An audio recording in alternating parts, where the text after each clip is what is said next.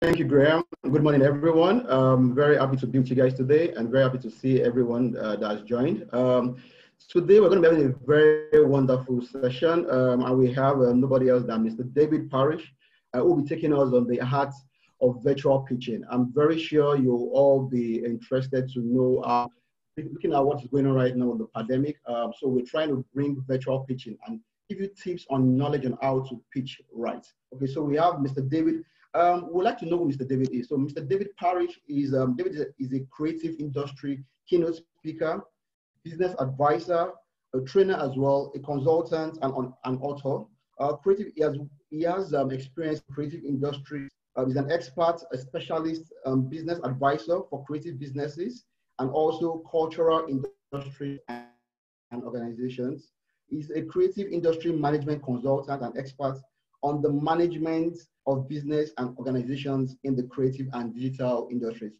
So please, if you guys can uh, help me welcome Mr. David, you can put on the chat box um, and welcome him um, because he's going to give us a brilliant uh, session, which we're all looking forward to. So Mr. David Parrish, please welcome, welcome to the, welcome on board. Thank you very much for, for, for taking this um, opportunity uh, to enlighten us with, the, with your knowledge. Thank you very much and welcome.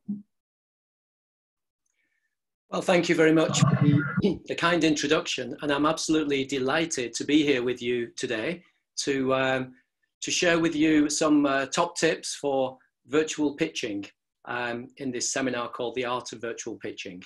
Um, I would like to thank very much uh, the Enterprise Centre, Enterprise Development Centre, and GEN Nigeria for being the hosts and for inviting me and for doing all the work behind the scenes to make this uh, webinar happen. So thank you very much for your excellent and professional organisation. Um, I've seen many pitches um, and delivered many actually, but I've seen them from the point of view of a competition judge, uh, an investor panel, maybe a, a panel uh, of a grant making body, and as well um, as a panel for interviewing people as a recruitment for jobs in my companies. So um, I've seen many, many, many pitches. Um, I'm going to try to give you some tips about what are the big mistakes to avoid and some good practices that we can um, all adopt and embed into our pitches to create winning pitches. Now, this webinar is going to be in two sections. First, I'm going to give you some general advice about pitching in all circumstances and I have 10 points to make there. Um, these apply, of course, to virtual uh, pitching as well, but they are general. And then we will take some questions. Uh, I'll, I'll, try and answer some questions and we can have comments. And by the way, you can ask your questions as we go along. Um, so put them in the chat box. They will be moderated. And at the end of the first section, I'll answer some questions. And then the second section is specifically uh, tips about pitching and virtually. So some special um, aspects, some special techniques and considerations that we need to take into account when we're pitching in a virtual environment. So that's the outline. And uh, here we go. Let's, um, let's start with number one. And the first one is different audiences, different pitches. Now, the point here is that we shouldn't just have a standard pitch on our presentation slides and use it for everybody because clearly different audiences um, will require different pitches because they have different perspectives. They need to know different things about our business. So when I say audiences, I'm talking about, on the one hand, uh, equity investors. Um, it might be a, a panel of judges for something like Creative Business Cup Nigeria. Um, it might be um, some grant making body uh, that is the audience, or um, it might be actually a business that you're pitching to to try and win a contract. So all of these things apply. All of these are different audiences, and we need to be specific. Um, so we need to understand actually what are the needs of the audience. What does that audience need to know? An investor, of course, will need to know what is their return on investment and when. What's the exit strategy? Whereas judges will want to know, you know, it, if they give you the prize, are they going to be embarrassed if you fail? So are you a worthy prize winner? And similarly, for a contract, the business that you're pitching to needs to know whether you can deliver the job, what your ideas are, but also whether they can work with you if the price is right and they trust you. So slightly different aspects for each different audience. And to do that, we need to research the audience. We need to understand what the funder's requirements are. If you have to be set up as an organization in a certain way or have a certain market or a certain product, make sure you can tick the boxes, or shall we say, allow them to tick the boxes. Um, so you have to anticipate what their, their checklist is and make sure that your pitch addresses all of the points on their checklist. So for each audience, imagine their checklist and make sure your pitch um, addresses each one. Second point is what's in it for me?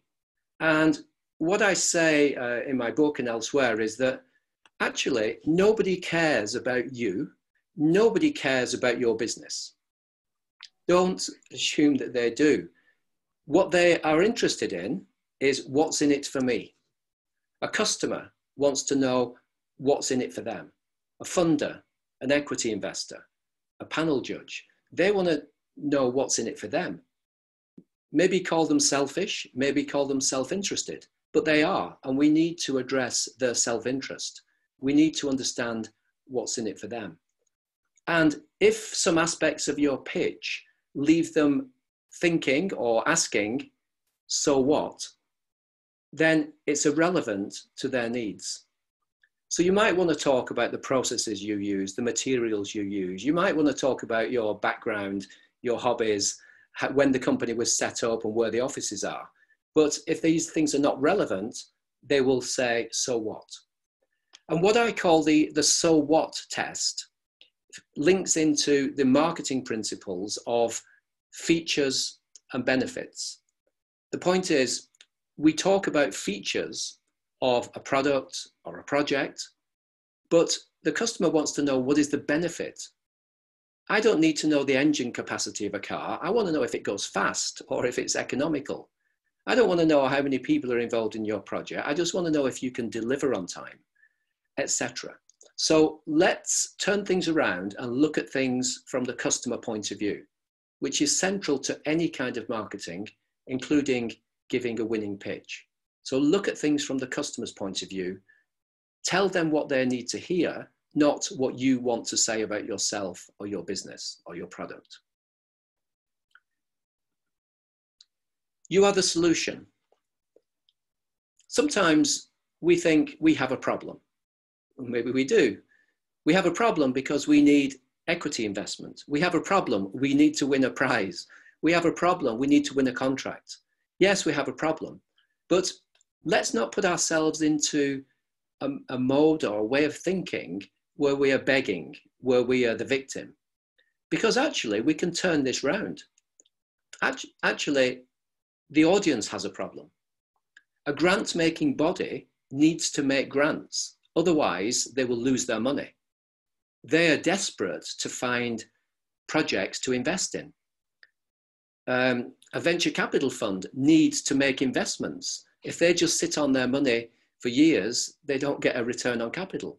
So they need to find investments. They have a problem, and you can be the solution to that problem. So let's think in that way more positively, and let's help them to realize that we are the solution to their problem, whether it's needing an employee, uh, a supplier, um, a grant uh, recipient, or an award winner. We are the solution. So let's talk in that way. Be your authentic self. I talk about marketing and authentic marketing as working with people who like your authentic self, working with markets and customers with whom you can be your authentic self. Because then you are on the same wavelength. Then you are more natural and you come across as more honest and straightforward.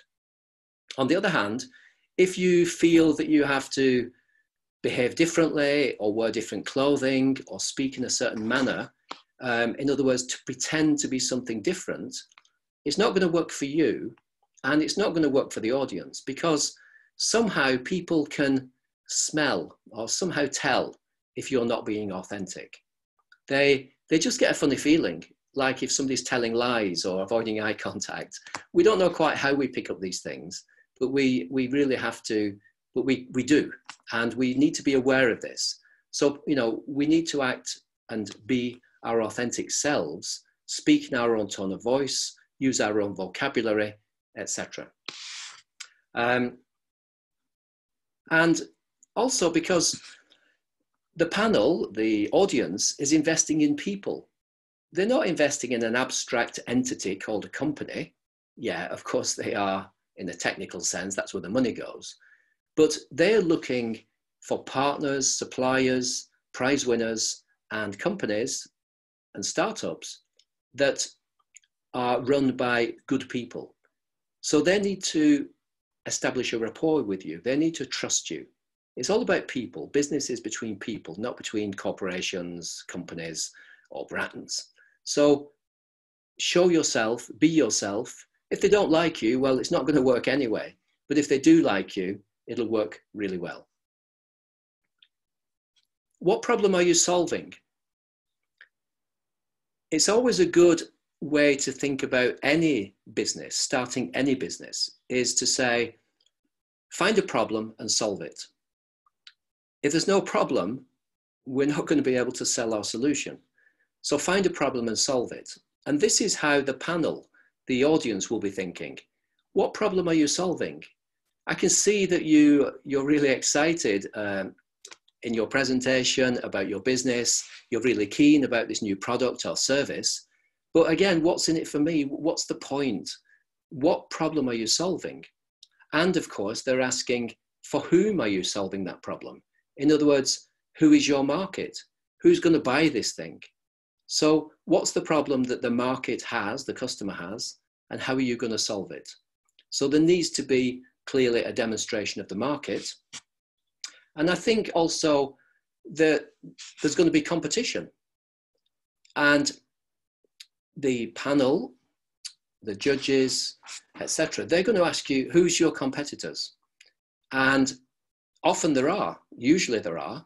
Even if there are not obvious direct competitors, there might be indirect competitors. There might be an alternative product or service. Uh, there might be another way for people to spend their disposable income. So be aware of competition. Don't say that there isn't any. And more than that, talk about the competition and how you can outmaneuver them using your competitive advantage, your USP. How come you're going to succeed in the market when others are trying already or will emerge and try as new entrants to the market. Share your why.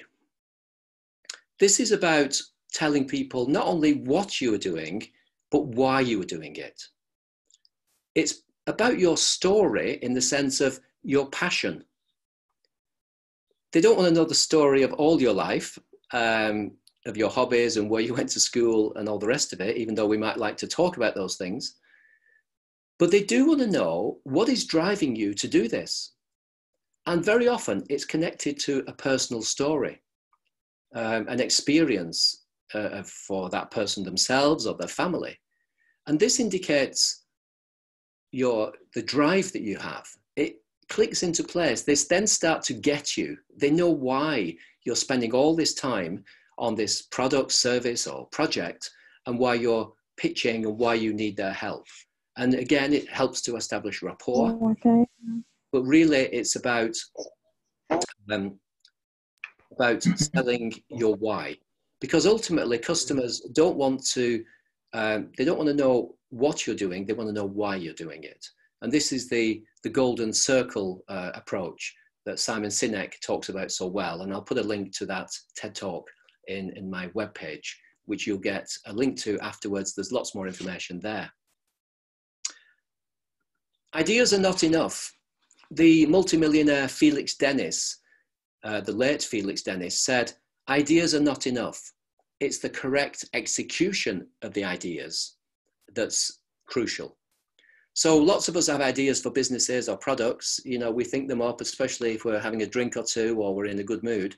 But that's not enough. We need to put them into a business system and correctly execute them to make it into a real business, not just an idea. In other words, we need a, a business plan, a revenue plan. We need to a system for making money from our product. And that's what the audience will want to know if you're pitching for an investment or a, a business prize. So what's your revenue model? How will your great idea, your passionate project actually deliver money? We need to be clear about the business model and succinctly uh, communicate it. Rehearse your pitch. It goes without saying that you should rehearse your pitch, but more than that, we can, we can write it, we can outline it, we can be very clear about the key points we want to make, but we need to rehearse it verbally. We need to actually say it out loud so that the words become embedded and flow naturally from our tongues. And if something you've written doesn't sound correct or just doesn't sound right somehow uh, as you speak it, then learn to speak it in a natural way. So it's about rehearsing in terms of the, uh, the content, but also speaking out loud. Um, I think the other point is that, um, yes, you can speak to bullet points. Um, you don't have to memorize the whole speech or a script. You can use bullet points, but I think it's a good idea actually to memorize the opening bit so that you get off to a good start. So you're not stumbling or changing your words in that first opening sentence or two so that that comes across clearly and smoothly because it gives you more confidence. And then the end bit, the final words, you know, memorize your final sentence or two so that again, it's, it comes out correctly, strongly, and confidently because it's the beginning and the end that make the most impression. Um, and crucially, rehearse the timings. If you have four minutes or 10 minutes or whatever number of minutes to make your pitch, make sure your pitch fits in. It's just so cringing and unprofessional when people have to be told to shut up uh, and they or they rush through the final slides or they don't get a chance to say their final point. So please don't make that mistake. And when you're rehearsing, rehearse the timings. Does everything I want to say fit into the, the number of minutes I'm allowed? And remember that it also takes usually a bit longer in practice um, in other words, in reality, in front of the audience, than it does when you're practicing at home, speaking to yourself in the mirror. So allow more time so that you're not getting anxious about speeding up at the end because you've got a few more points to make and it all ends up in a, a quick rush and goodbye. Not good. So leave some time. If you've got a 10 minute pitch, time it for nine minutes. It's okay to finish early, but it's just not good if you overrun. And end with an impact. Think about your ending. What is the ending? Is it a call to action? Is it a final point? Is it a, a strapline or slogan from your business? You know, what are you want? What do you want to finish with? You want to go out with a bang, make an impression, so that it's a memorable um, pitch, and they will remember not only the content but especially the end. That's the clincher. So think very carefully about that, craft it, and deliver it well. And then final point in this section about pitching in general is about providing further information. Now, in a, a physical pitch, a non-virtual pitch, you probably have copies of your business plan to hand out there and then to the, the investors or the, the, uh, the judges or whatever. Um, can we? So um, we, we somehow need to know where we need to be able to tell people where they go for more information. In other words, at the end of your pitch, say, more information is available in your email inbox. We've already sent it. It will come to you in two minutes, or you can go to a particular web page or link to find the information you need and download it. So think about all that extra documentation, information that you want to supply um, in connection with the pitch, but you can't do actually during the pitch. So I'll pause at this point because I've made there 10 points about pitching in general. And, uh, and I'm interested to know any questions. So So I'm looking forward to your, your questions um, and any comments you have, and I will do my best to answer them.